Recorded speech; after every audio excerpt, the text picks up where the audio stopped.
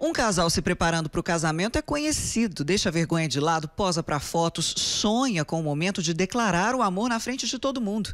E a noiva é, sem dúvida, a que idealiza mais. É como se os noivos fossem os atores de um grande espetáculo. Para seduzir a plateia vale tudo, afinal, a gente casa só uma vez ou deveria. Mas e quando não se tem condição de realizar a festa dos sonhos? Essa busca pelo perfeito pode se tornar perigosa. Um anúncio numa rede social prometia um empréstimo facilitado. Veio em boa hora, porque a Daniela precisava de 20 mil reais para ajudar a pagar a festa de casamento. Ela clicou e a empresa, mais do que depressa, fez contato. Eles me enviou um contrato pelo Zap, que era para me assinar. Aí assinei. Medo de investigar, né? Mandei para eles. Aí depois eles falava que o empréstimo saía, mas eu tinha que depositar tanto, que o score estava baixo. A negociação durou duas semanas, mas a Daniela não viu nem a cor desse dinheiro. Pelo contrário, ela pegou quantias emprestadas com amigas para pagar supostas taxas à financeira. Os golpistas diziam que só depois de pagar essas taxas, o empréstimo seria liberado.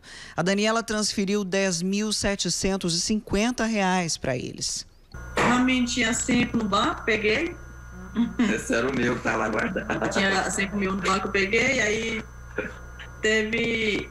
Aí eu peguei dois com uma amiga minha, dois com outro.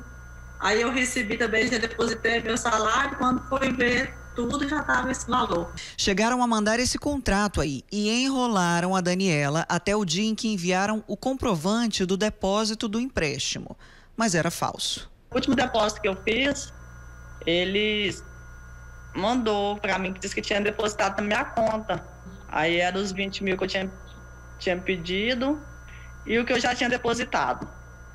Aí eles depositou como se fosse cheque, mas assim, surtou o cheque.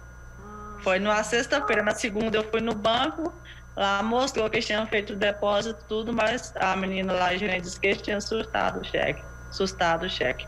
Um balde frio no sonho da festa de casamento? Não, mesmo com muitas dívidas. Esse casal da cidade de Orizona teve o grande dia, ainda bem. Um levantamento do site Reclame Aqui mostrou que os noivos de Orizona engrossam uma estatística que já é alta. O golpe do empréstimo falso cresceu quase 200% no Brasil nos últimos dois anos. Os estelionatários agem sempre da mesma maneira, pedindo taxas antecipadas para liberar o empréstimo. Essa prática é ilegal, mas muita gente não sabe. Procurar financeiras e bancos conhecidos pode ser uma dica para não cair nesse golpe, segundo o especialista. Pesquise sobre a empresa em sites de reclamação e evite conversas por WhatsApp quando for procurado pelo suposto banco. Os golpistas, eles criam instituições fictícias e oferecem uma série de serviços. Mandam com taxas bancárias menores, com taxas de empréstimo aí bem abaixo do mercado, com o objetivo de angariar ali pessoas que estão com essa necessidade. Então, sem dúvida, o destaque que ele coloca é uma taxa menor. Agora, se você recebe mensagens e você tem interesse no serviço, é importante, não clique nos links que vêm. Se você viu o nome da instituição, vai direto no site da instituição procurar o serviço ou o produto que te interessa.